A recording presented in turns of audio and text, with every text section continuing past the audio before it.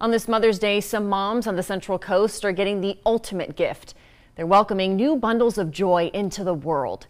Salinas Valley Memorial Hospital has already had three mothers deliver today. 32 year old Erica Gonzalez gave birth to a baby boy.